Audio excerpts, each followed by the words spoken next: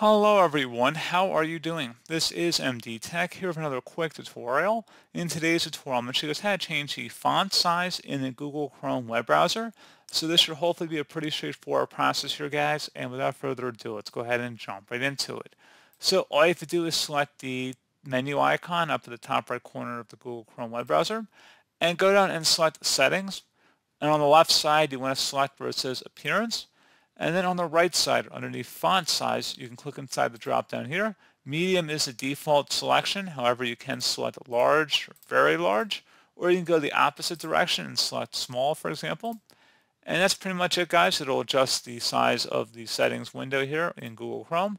So it doesn't affect like the menu options here, but if you're in the settings window, it will adjust how large the font is. So pretty straightforward process, guys. Hope I was able to help you out and I do look forward to catching you all in the next tutorial. Goodbye.